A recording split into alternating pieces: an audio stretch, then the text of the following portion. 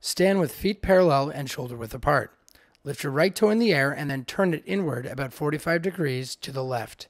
Place your right hand in the crease of your hip. Shift your weight back towards your right heel while folding at the hip. You should feel a stretch in the right buttocks. The key is to kick the hip out and to the right. Inhale and squeeze your buttocks and abdominals for a second. Exhale and release your buttocks and abs and sink deeper into the stretch. Keep your lower back straight.